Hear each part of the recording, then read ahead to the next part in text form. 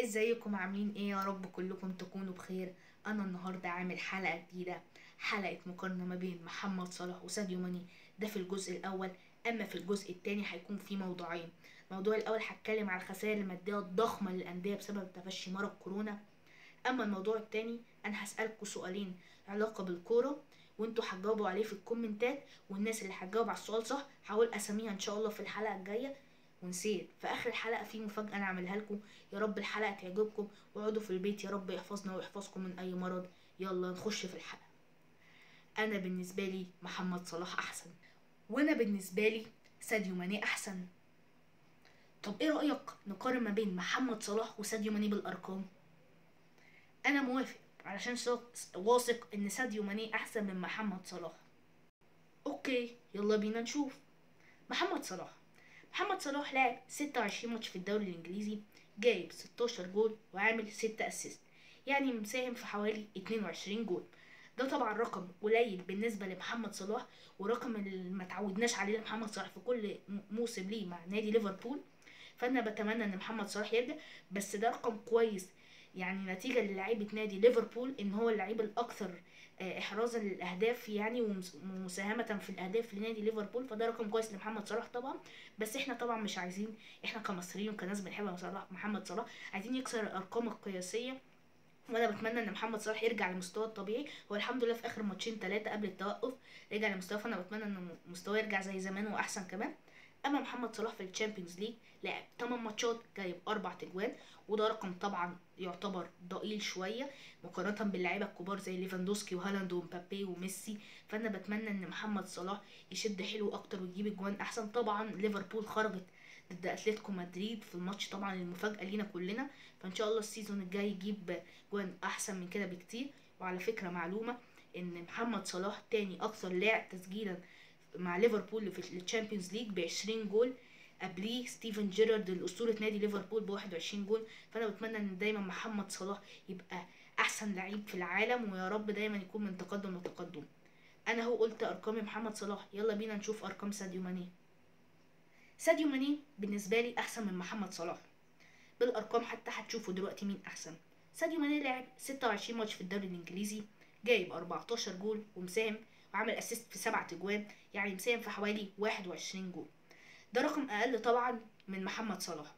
أنا هقول السبب إن ساديو ماني حصلت له إصابة فده يعني في ماتشات ما لعبهاش ماتشين أو ثلاثة وبرده محمد صلاح في نفس الشيء دي معلومة إن محمد صلاح برده جات له إصابة ما لعبش ماتشين أو ثلاث ماتشات في الموسم وكان من اهمها ماتش مانشستر يونايتد الدور الأول. فطبعا ماني ماني من اللعيبة اللي بتفرق في الملعب وخاصة في القوة قوة قوة الهجوم والدفاعيا وال... والدوشنج مع اللعيبة التانية. فمحمد صلاح. يعني محمد صلاح يعتبر أقل من ساديو ماني في حتة الدفاع. فأنا بالنسبة لي ماني أحسن.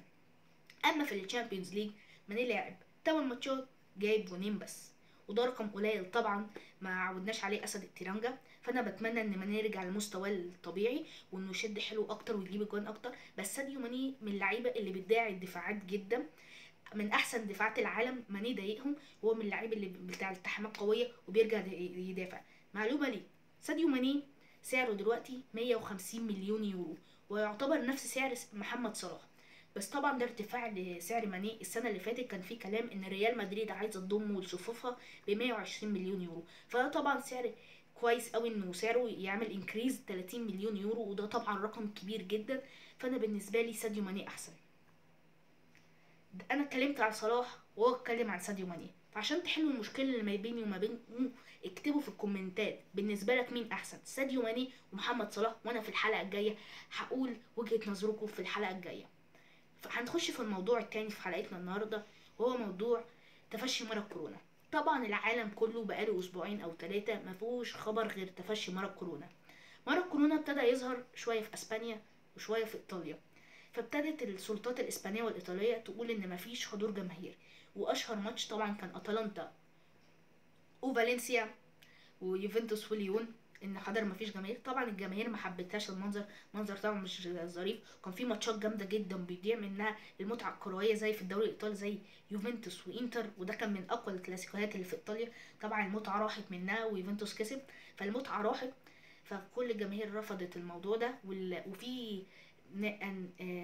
وكلاء لعيبة نادي داخل فالنسيا قالوا إن فيروس كورونا جالهم بسبب نادي اتلانتا لما جه يواجههم في أسبانيا نقل الفيروس للاعيبة نادي فالنسيا. فالسلطات لما سمعت الكلام ده قررت الويفا إن هي تلغي ال Champions League تأجله هي وال Europa League. والأند... وبرده في الدوريات العالم برضو أجلوا الدوري لحين مسمى هو طبعا كان ل 14 إبريل بس بعد ما شافوا إن الأرقام في تزايد كبير قالوا لحين مسمى يعني لما الفيروس يقل شوية. وبرده الويفا ما خدت قرار تاني إن هي أجلت يورو 2020 للسنة الجاية إن شاء الله. وبرضو الكوبا اللي بت... الكو... آه... كوبا أمريكا برضو اتأجلت ل 2020 21 إن شاء الله.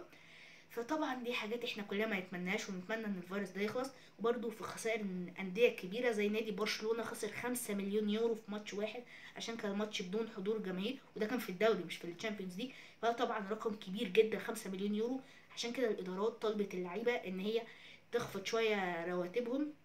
فزي نادي برشلونة خفض رواتب اللعيبة حتى بقى النص. وفي ناس طبعا طلعت قالت إن ميسي رافض ميسي مش رافض بس ميسي طلع بقرار رسمي إن لعيبة نادي برشلونة وافقت. وفعلا طبقت إن اللعيبة بتاخد نص رواتبهم ودي طبعا حاجة كويسة من اللعيبة إن هما بيحسوا بالنادي اللي هما بيلعبوا فيه. طبعا النادي ما فيش دلوقتي خلاص مكسب إنه ياخد فلوس ما فيش كورة ما فيش حتى ال sponsors ما فيش أي حاجة. وأنا دي حركة كويسة من اللعيبة وأنا بتمنى إن فيروس كورونا يمشي والكره تعود زي زمان.